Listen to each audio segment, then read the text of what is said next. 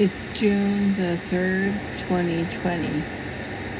Now, why would someone turn on the light now at this time when the whole area is closed due to COVID 19? The whole area, none of the apartment tenants would come. So, who would turn the light on so that I get targeted from that light?